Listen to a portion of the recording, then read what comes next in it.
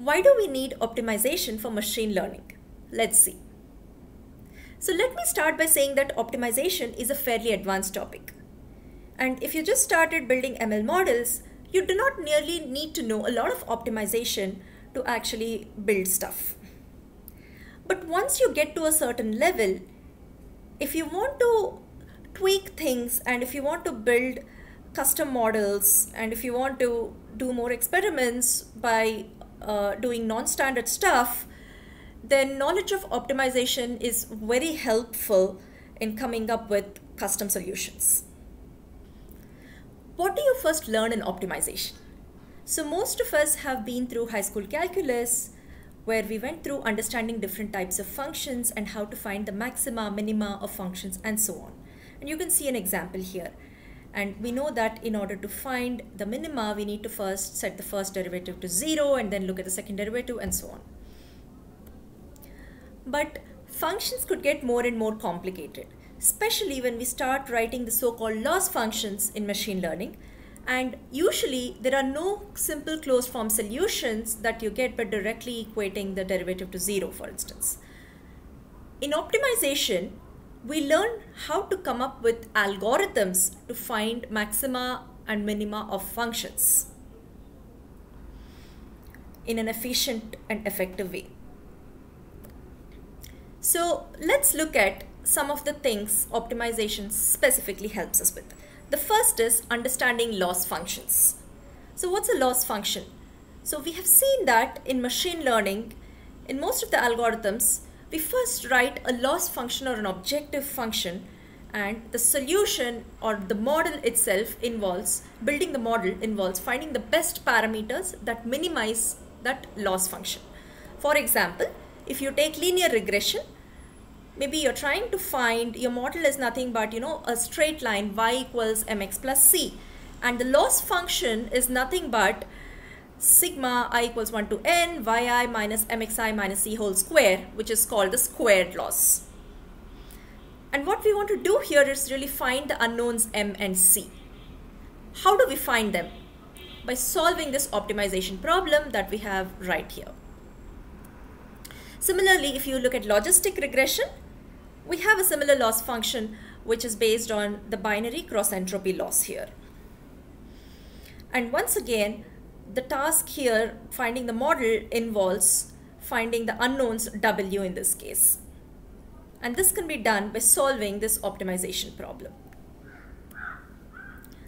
So the second thing, so the first uh, advantage of learning optimization is to understand loss functions.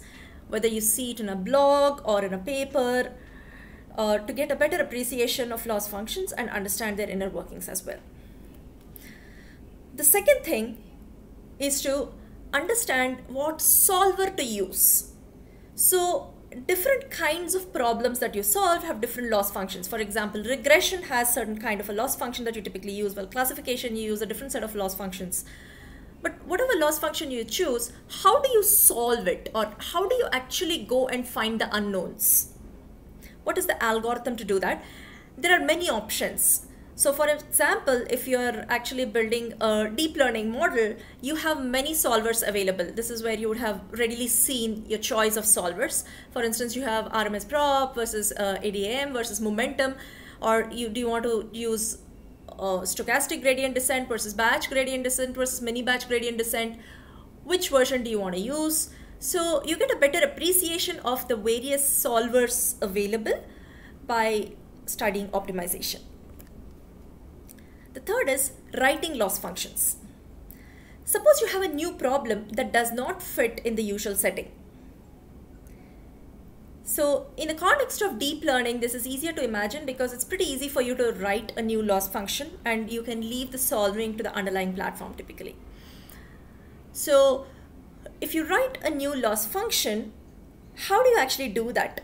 Optimization gives you an understanding of how you can write loss functions. Writing updates or solvers for an optimization problem. So when you come up with your loss function, sometimes you want to implement the solver yourself for reasons of efficiency and so on. Especially when you're not using like, you know, standard platforms like TensorFlow and so on. You might want to write your own solver to make it faster. And you need to get a good appreciation of how different solvers work, not just knowing what the solvers do, but for instance, what is the update in gradient descent?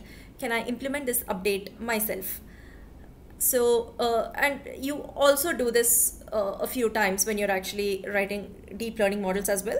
So, writing updates for an optimization problem, again, is something that you get a deeper understanding with when you study optimization. To summarize, we just saw why we need optimization for machine learning.